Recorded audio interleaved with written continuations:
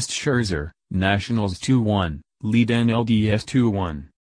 Chicago, AP, Anthony Rizzo hit a tie-breaking single with two outs in the eighth inning and the Chicago Cubs overcame Max Scherzer's brilliant performance to beat the Washington Nationals 2-1 on Monday for a 2-1 lead in their NL Division Series. Scherzer was dominant in his return from a right hamstring injury, carrying a no-hitter into the seventh. But just like in Game 1, when Chicago was held hitless into the sixth by Stephen Strasburg, the World Series champion Cubs showed off their resilience on the way to a stirring victory. Game 4 of the best-of-five series is Tuesday. Jake Arrieta returns from his own hamstring injury for the Cubs, while Tanner Roark gets the ball for the Nationals.